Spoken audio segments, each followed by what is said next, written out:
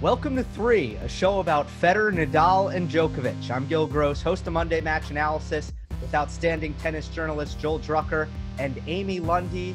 And on today's show, we get into everything Novak in New York. And some of that is hitting tennis balls, some of that is trying to reach the governor so that Adrian Mannarino can play his tennis match and trying to set up a, a players association. It's been a crazy time, but let's start on the court. Amy, any big takeaways um, in terms of Djokovic's tennis right now?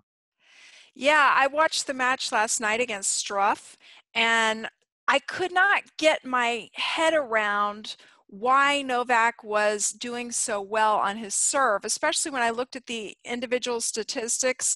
First serve percentage, 63%. I mean, that's good, but it's not lights out. To Struff's 58% percentage of first serve points 172% okay now we're we're getting somewhere. So there's this metric that's been developed i think by the atp called serve efficiency and you can do it on first serve or second serve. So i looked at novak's serve efficiency which is a blending of those two and you get 53% that's excuse me getting up there toward karlovic range and uh, Struff's serve efficiency was only 35%. So 53 to 35. He's dominating this category of being extremely efficient with his serves. So when you when you dominate that much in one area of the game, it's going to start looking really easy. And I just wonder, you know, what goes up must come down. I'm just wondering, like, how long can he maintain this? Well, it's going to be interesting when he starts to play some better returners and how they threaten him. I mean, Struff, uh, no, no threat whatsoever. Uh, Martina Navratilova would sometimes call these matches batting practice. I mean, that was a pretty routine. Was there ever a time really where he was he was threatened by by Struff with any significant shots? I don't. I, I would really, say not even a smidge. Not even a smidge. So so it's fascinating when these guys with such good ground strokes as Novak and I remember people like uh, Andre Agassi, Jimmy Connors, get in a lot of first serves and just go to work. I mean, these guys have such good ground strokes. Someone like Novak, he's not threatened. He's not being put on the run. The guy's not taking any tactical variations, and uh, and Novak is just so so balanced. I mean, we talked about that before. How he just more or less smothers people. He doesn't even have to do it with the with the brilliance, the obvious brilliance we see from a Federer or Nadal. He just kind of goes to work, starts hitting a lot of cross court. It's yeah. almost like the harder you hit, the easier it makes it look. I mean, it's like he loves that. Uh, I, I, have to credit this guy on Twitter, Matt Rackett, um, came up with the perfect analogy. He said it's like when you throw lightning at a Pikachu, and the Pikachu just gobbles it up and throws it right back. I mean, very easy, doesn't even break a sweat. It's well, these guys funny. are his contemporary. These guys are the contemporaries, and he's right in that thick groove. He's been in it for a long time. That's why he's great. It's like I, I know, I know your deal. I mean, there's going to need to become need to come another paradigm, another level. Someone new who's new and younger has a whole other upgrade of power and accuracy and maybe variation that topples him. And that's that's the way the game works. I mean, uh, the leading guy poses the problem statement, and if it's his contemporaries, they've got what they've got. It's a little bit the way the, the issues that let's say Roddick and um, Lleyton Hewitt faced versus Federer. It's like we've all grown up together. We're around the same age. We've got the same things. So Novak's born someone someone younger, someone 10, 15 years younger is going to need to come along and say, "All right, old man, I've got something new. I've have you seen a kick serve like this? Watch this, Novak. Watch me go after you now. I'm going to watch me return your serve, which is pretty good, but the second serve of Novak isn't like stellar. And maybe someone younger is going to be practicing the game of tomorrow that can really kick kick Novak to the curb. Yeah, the the Pikachu analogy was yeah. uh, that was that was about the matchup, the Struff Djokovic matchup, and it's like hitting it hard at, at Djokovic, and I think Medvedev is in this camp as well. It's not going to do anything. Djokovic does not mind your pace. You can hit it 90 miles per hour, and he's going to say, okay, I'll just, you know, I'm, I'm happy to redirect this ball and use the pace against you. I almost think if you're playing Djokovic, Joel, like you're someone on the court, you take pace off the ball all the time, right? Often. Not always, I, not every single time, Gil. Come on, I can. Oh, yeah, I'm just. Uh, variation, Joel, variation. But but you're you're willing to probably slow down your racket speed sometimes, and you know try to disrupt rhythm and bring your opponent in perhaps. Struff doesn't have that against Novak. He's he's hitting bullets at him, and even in Del against Del Potro in the 2018 U.S. Open final, I I felt like Del Potro was just belting the ball, and instead of breaking the sideline, breaking the baseline. And exactly. Novak is like, okay, I'm gonna stand, I'm gonna stand six feet back, and I'm gonna counter punch and redirect your pace. It's no problem for Novak if you're hitting it hard at him. And, and open up the court. I mean, he was, uh, Struff was doing uh, aggressive shots to conservative margins, as Anna Cohn says. That was not a good strategy. I mean, a 100 mile an hour forehand hit with tons and tons of margin right back to the baseline. I mean, Novak's going to take that and start to open up the court. You're so right, but see, so so here's the deal. So the deal is that right now, right, Novak is perfectly comfortable versus the hardest hitters of 2020. Even someone like Del Potro, he's withstood a number of times. So right now, there's a 16 year old who's studying the contemporary 95 mile an hour forehand, hitting it now 89, but maybe by the time he emerges on the tour, he's going to have a 110. And so that's going to be the, the game changer, just like the way the young Pete Sampras built the kind of game that could take down the Ivan Lendl. But as, against, as far as his contemporaries go, we haven't seen a lot of questioning. I mean, Dominic Thiem, you watched how well he pushed Novak in Australia, and he huffed and he puffed, and even he couldn't quite break him down. He has in Paris, so that's a, a different surface, of course. But uh, yeah, Novak is looking quite quite formidable. And I think you're right, Gil. I think it's interesting to see if some players have some other tactics that they learned. That's why that's why the Federer Djokovic match up continues to intrigue us because Roger does have slices and he comes in and he volleys, but that's a lot of you got to have a lot of parts and pieces together. The, the one thing, I mean, you're kind to refer to my West Coast offense game. The the trick with that game is you have to have everybody on the field playing. You have to have you got to have the running backs, you got to have the wide receivers, you got to have all these all these things. It's like I place a friend who I said to him, "You just all you need to do is come to net and come to net." I have to have like seven different things going on, and and again, given this layoff, given this layoff people have had, the people with the more simple game, it's going to be easier yeah. for them. Yeah, people need to diversify their game and to disrupt and and perfect the transitions within that diversity. That's you can't just hard. volley well and baseline well. You got to get perfect the blend of the two.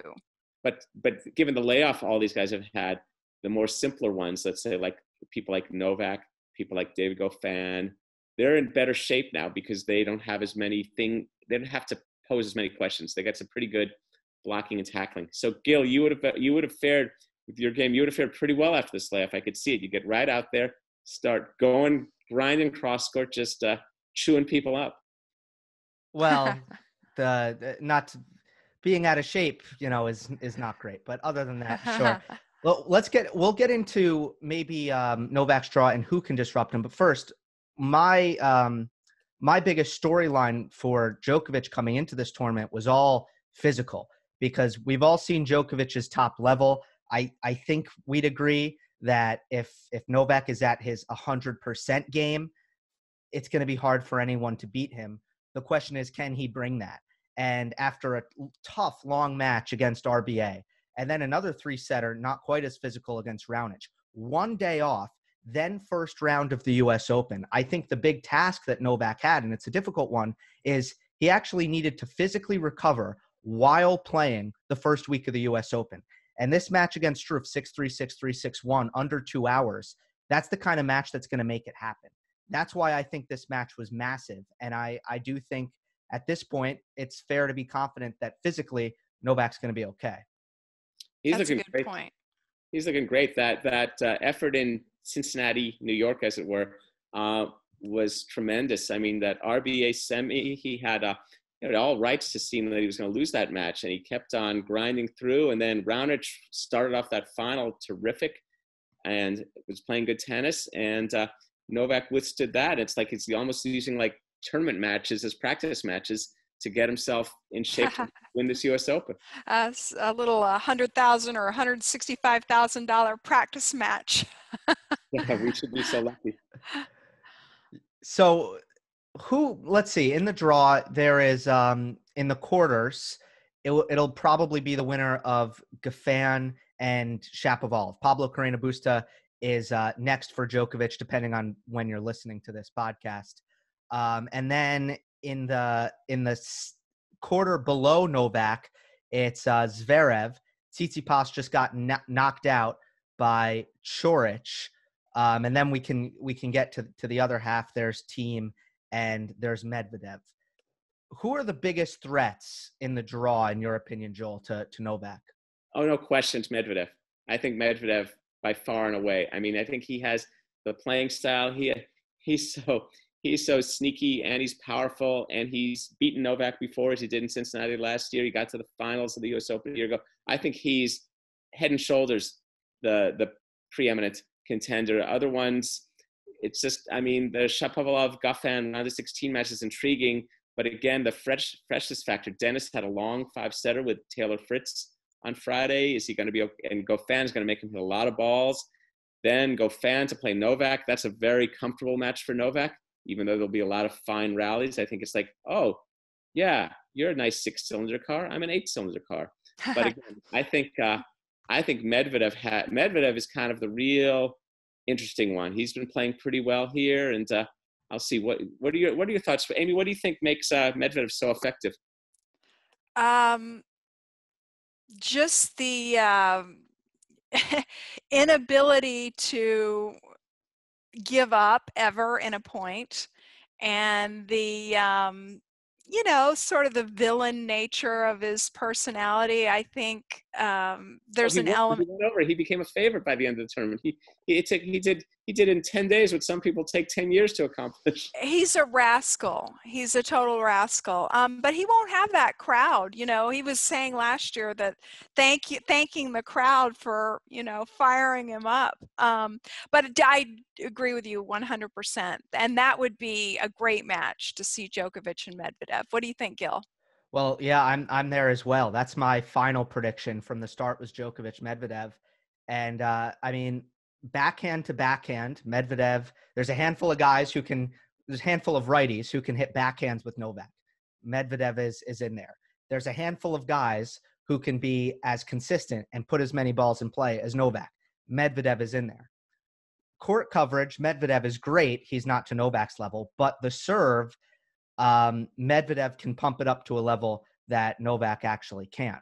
Um, so sty- stylistically, there's a bit of a mirror factor there and they're doing the same kind of things and it winds up being very very physical the x factor to me in that matchup is the forehand because Novak's is a lot more solid than Daniil's and that's I think what puts him over the edge but I totally agree with you that Medvedev is is his biggest threat. I agree with both. Well, there's going to be if if that match comes and it's a little ways away obviously. Uh, there, there's that uh, technically Novak forehand better, but Medvedev has this kind of tactical guile that's kind of intriguing. I mean, yeah. things like how he, it's not just the serve, it's not just the serve strength, but the serve deployment. I mean, you recall the match when they played, he's, oh, I'll hit my second, I'll hit my first serve as my second serve. I'll, I'll pop, there, there's a certain kind of, um, yeah, like you said, he's a rascal. He's not just a rascal how he interacts. There's a certain tactical rascal quality mm. to Medvedev. You know, he'll sneak in, he'll hit drop shots. You know, Novak, you know, when you're when you're winning that often, you don't need to adjust. You just trot out your weapons and all this, and, and then and then there's kind of the the experience factor. I mean, Medvedev last year was had a really good summer, but I don't think any of us expect him to reach the finals of the U.S. Open last year.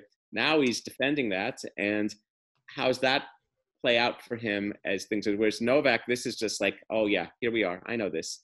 I know this many, many times. But you bring up a good point, Gil. If I'm scouting for Novak against Medvedev, I say hammer the forehand. Just forehand, forehand, forehand, forehand, and then if if he's still in the rally and you see the opening, go backhand to finish. Right. And a surface like this, the the Daniil Daniil's backhand is an absolute nightmare because there's there's no topspin. You can actually read the Wilson US Open label on the ball when he hits his backhand.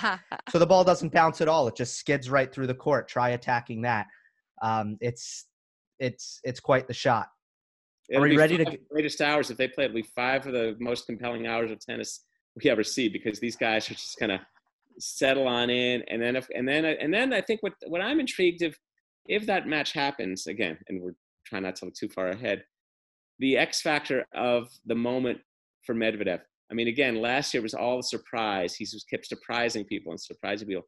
Now a little more about expectation and how he truly competes under that kind of pressure. And it, we talk a lot about the whole going from being the, the hunter to the hunted and how that all goes. And for example, does does Medvedev have a very draining quarter semi? And that's the thing we wonder about all these players. They're all they've gone from being under seasoned to now they're getting seasoned, but are they going to be overcooked because they just haven't played as much? And so what's Yeah. going to be the and and and the, and the weather. Look, we've seen in New York just the first few days. We've seen rain, we've seen humidity, we've seen temperate uh, conditions. What's it going to be like that second week? Which one of these guys? Remember in, uh, I believe it's 2016, Novak had an oven-like semi versus Gael Monfils, and you know that hurt him uh, versus Stan in the in the finals. Yeah, 2014 against Nishikori, a really, really hot day that that Kei handled better as well in the semifinals. The first thing you said about Medvedev, that's a, a really important point in my opinion, because the scouting report is also out on the Russian. And everyone on tour now knows you need to slice the ball, shorten the court to his backhand, and you need to go to the net because his passing shots aren't great because he hits the ball so flat. These are the things that I don't think people, I don't think the secret was out um, last summer. No, so right, so but so okay, so so Novak, yeah, he likes that slice once in a while. But he doesn't really care to do that that much. Right. and he, and he, and and the net for him it's it's it's it's it's almost cute to watch how Novak has become proficient at the net. It's so studied, and I and I admire it. I mean, you can so you could so see his diligence when he works in Cummington that as he did on a key break point in the fifth set of the Australian Open final, and he came to net against Thiem. But it's just it's it'll be interesting to see how he variation, stubbornness, what do you do? And again, he's Novak. He's won he's won all these majors. What's how does he adjust to these situations? People might say, why are we not talking about Thiem? Uh, because he takes a huge backswing, and this is not the right surface for him. I mean, yeah, I think we'll be talking about him in a few weeks. You think, well, yeah. I mean, in a way, it's kind of funny. Uh, people like Medvedev made such an impressive run in that final last year, and Thiem has gotten to three finals now. And I that yeah, great point, Amy, about his his takebacks. But he's he's fit. I mean, it'd be fascinating to learn what all these people did in these five months. What really defined their training routine, whether it's practice sets or running or weights or any of that stuff. And you know, though, Thiem is fit. This we know. So that's going to be intriguing, and we'll see how how the tournament keeps shaking out for him. And I do like his mentality. Um, I mean, prove me wrong, Tommy. I mean, get out there and grab a major. Prove me wrong. Yeah, but you know, remember he- this. He beat Nadal at the Australian Open. He at the U.S. Open. He uh, uh, two years ago he extended Nadal to a fifth set tiebreaker. So it's not like he's it's not like he's some uh, you know nothing on hard courts. But uh, we'll see. In best of three, he beat Novak at the O2 Arena, the quick indoor hard court. He was uh, absolutely redlining in that match. I don't think it was like a realistic level, but uh, he, he did do that. And uh, I think that Beat the re- Federer at Indian Wells. That's a slower court. that's very slow. That's like yeah. clay. That's like clay. well, I, I I don't think his level um, in the early rounds. I think it's noticeably below what Daniil Medvedev has has brought to the court. That can change. yeah. We've seen that happen before, where the player who just looks eh, in the in the beginning will will turn it up. But I think early on, Medvedev is just looking to be at a higher level than Thiem. And after the first round loss to uh, Krajinovic last week, I just think right now um, there's just not a lot of momentum behind Dominic Thiem. It's a funny thing behind Thiem and Medvedev. Medvedev is kind of like the it boy. He reached one Slam final, and but it was the U.S. Open final, and his playing style was so arresting, and there's so much emotion that he's still kind of like a, a, a an interesting rising stock. Thiem has reached three Slam finals, but in a way that leads us to think sometimes it would lead me to well, I don't know. maybe it's he, kind of like Netflix. You know, why is the stock price so high? Whereas, you know, some of these other big blue chip companies are, yeah, it's like, where's the value there? Um, so you binging yeah. on Medvedev? Is that what you're saying? Are people binging? we all are. We all are. Um, but let's let's give Thiem his due respect there. Um, and and one thing I really like that Dominic is doing is changing up his return positions based on what's happening as live in the match. Uh, I don't see a lot of that from other players, so he's trying hard in all aspects of the game. He could break through. Who knows? I, I've mostly seen him on the back fence in New York. and that's fine. And by the way, that's fine. Oh yeah, think- totally fine. why not? I mean, yeah, I think I, look, he's winning matches. He's winning matches. He knows, you know, he know, he knows a lot of what he's doing. He's a, I think he's a tremendous. But I'll tell you one thing about Dominic Thiem. He's like the anti-Marat Safin. He'll never regret anything. He'll never leave anything on the table. I mean, he'll left every drop. That car's going to come in on empty. Yeah, there, there are a lot. I, I- I'm I'm just going to generalize. I think that there are a lot of people who critique Thiem's uh, return position, and it it drives me kind of crazy because it's it's he has the power to be offensive from you know at way behind the baseline where most players can't be offensive. That's just his weight of ball, his strength, and he doesn't have good stroke mechanics to keep it short and return serve. Amy, you were mentioning his his take back. So if he can move back and take a fuller swing at the ball, he's not being defensive just because he's he's 10 to 15 feet back. Well, I mean, Rafa does the same thing. Do people give him that criticism? They do, right? But They. Well, because. Rafa is um after he makes that return from way back there in about 2 seconds he's inside the court. I mean, eh, somehow he does it. Um, I, I'd have to really study Dominic's game a little bit more um, to understand what he's doing after he returns the ball. But as Joel said, it's working for him right now. so we talk about return to serve and Dominic Thiem and Nadal standing way far back behind the baseline. This involves a little bit of a paradigm shift for recreational players who are older. A, a while ago, Gil, I was razzing you about your return position because you're you're of a younger era that plays that sometimes takes your court position that way. And I totally get it for people who are have such technique and and it's it's not just so much even about power, it's more about racket head speed and margin. I mean, I think you know because you do this, you're not necessarily standing that far back to hit the ball hard as much as you're looking to hit it really deep and you have the swing shape that allows you to really use your body and generate that type of arc and top spin and depth and then create the point that way. And again it's it's based on an era where you're you've got about a 99% certainty that your opponent is not serving and volleying. So you're doing mm-hmm. that. You have zero desire to take the return and come to net. So i think it, it's interesting. I talked to i talked well not from there. If you if you can if you can hit a return from eight feet behind the baseline and come to net, you are quite the mover. But I think I think rec- our our audience who wants to learn how to play better, and we're ta- we talk about learning from these guys. You have to understand how how the game evolves. I'm not saying it's necessarily better, worse either. It's just ways the techniques evolve. And I think one reason people so love Roger Federer is because he kind of embraces it all. And the older you are, the more, oh yes, Federer, he reminds me of how I was taught. You know, because as you know, I was I was like I like I joked, if I stood that far back, my return might bounce before it hit the net.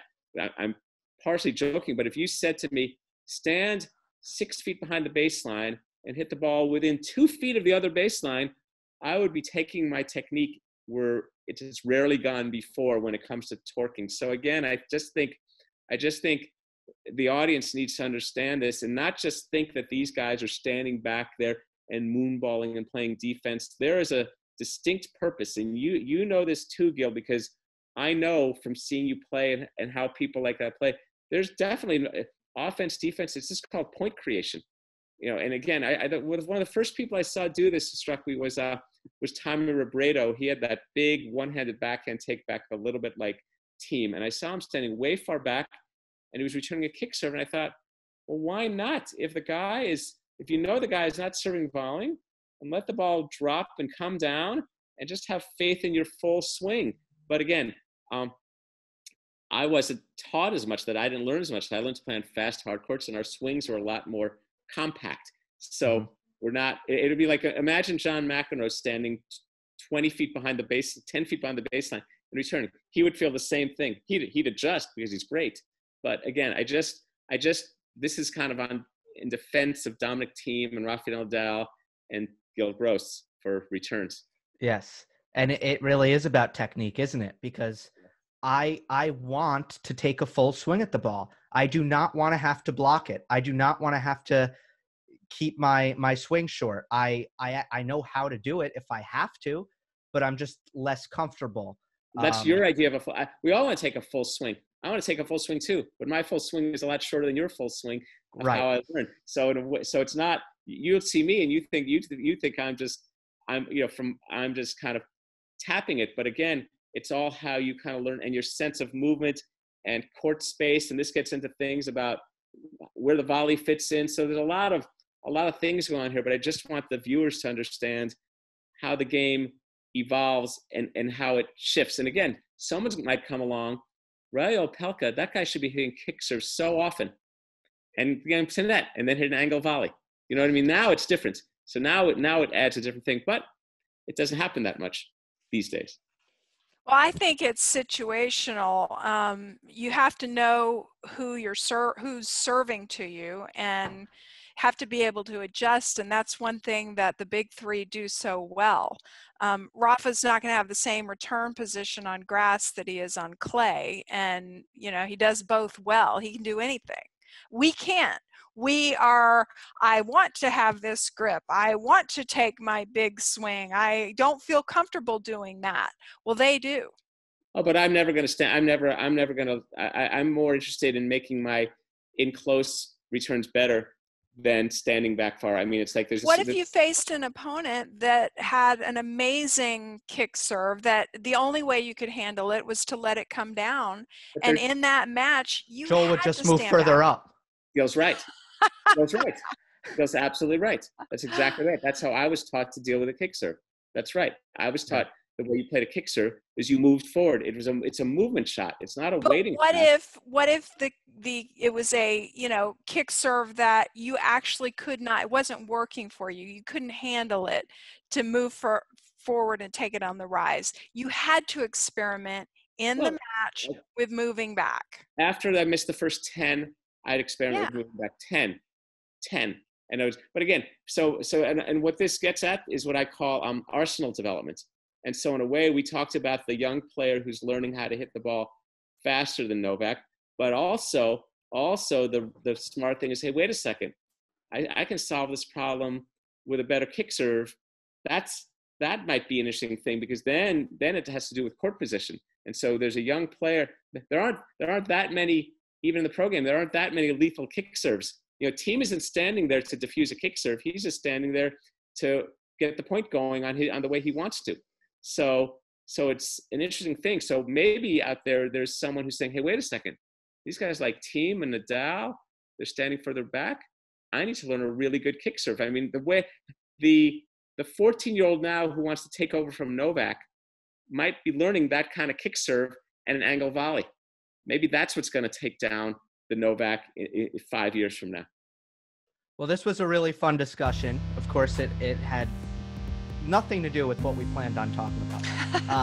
uh, all right, well, Novak Djokovic safely into the second week of the U.S. Open.